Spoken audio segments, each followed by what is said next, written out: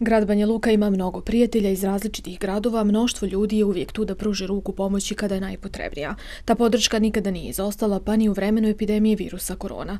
Tradicionalno predstavnici gradova prijatelja dođu u grad na Vrbasu 22. aprila, kada Banja Luka proslavlja svoj dan, dan oslobođenja. Ove godine posjete mnogih svaničika su izostale, ali svi oni našli su način da Banja Lučanima čestitaju njihov dan. Draga braća iz Republike Srpske, u imenovu Beograđana i u svoje lično ime, povodom dana vašeg grada, svim Banja Lučanima upućujem najsrdačnije čestite. Banja Luka i Herceg Novi godinama njeguju bliske, kulturne, turističke i nada se međuljudske odnose na koje smo izuzetno ponosni.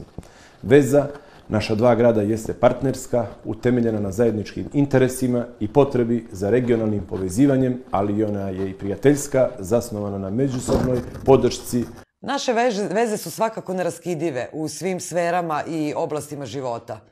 A možda je to i zbog činjenice da svaki šesti Mitrovčanin potiče iz Banja Luke i okoline. Žao mi je što zbog trenutne epidemiološke situacije nismo u mogućnosti da zajedno proslavimo ovaj važan datum. Dok su poruke prijatelja stizale sa svih strana, delegacija opštine Budva i Beograd boravili su u Banja Luci za dan grada. Naime, grad na Vrbasu u periodu koji dolazi pokrenuće inicijativu bratimljenja sa crnogorskom opštinom Budva.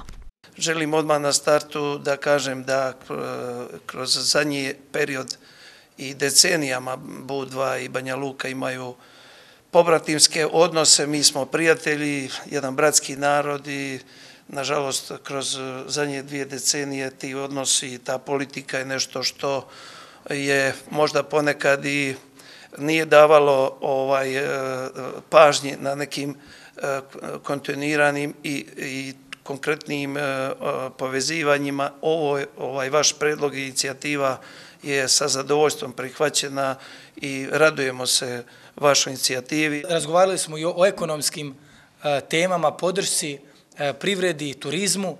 Dakle, naša turistička organizacija će u saradnji sa administracijom Budve da određene turističke ponude da naši ljudi odlaze u Budvu, da sarađujemo, da prosto gradimo prijateljske odnose.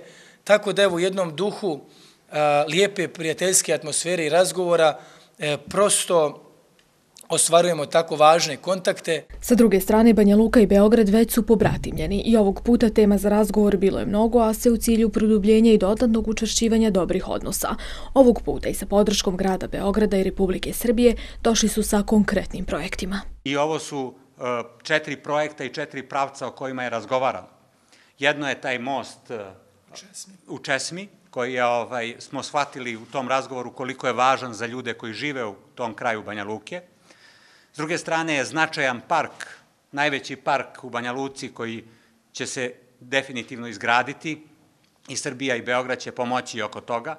Parkovi su važni u današnje vreme, a pogotovo što Banja Luka i želi da bude zeleni grad i grad u kome se vodi zdrav život, grad koji vodi računa o svom svojim stanovnicima. Škola i obrazovanje su uvek važni i izgradnja ove škole i priprema i tehničke dokumentacije i realizacija tog projekta je takođe nešto što prepoznajemo kao važno i siguran sam da će predsjednik Vučić naći načina, ako vi smatrate da je to važno, i oko tog projekta da pomogne. U Banja Lučkoj gradskoj upravi vidno su zadovoljni podrškom grada Beograda i institucija Republike Srbije za konkretne projekte kojima se kažu potvrđuje odlična saradnja dva grada. Razmišljalo se kažu da jedan od realizovanih projekata i dobije ime Srbija ili Beograd.